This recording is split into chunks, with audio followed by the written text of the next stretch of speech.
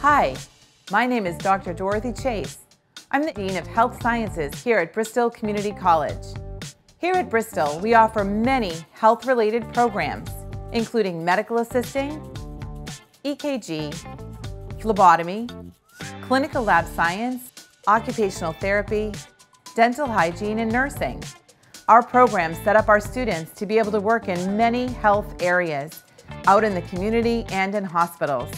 We have beautiful lab facilities. We'd love for you to come and see them. And if you have any questions about our programming, I'm happy to answer them. Thank you.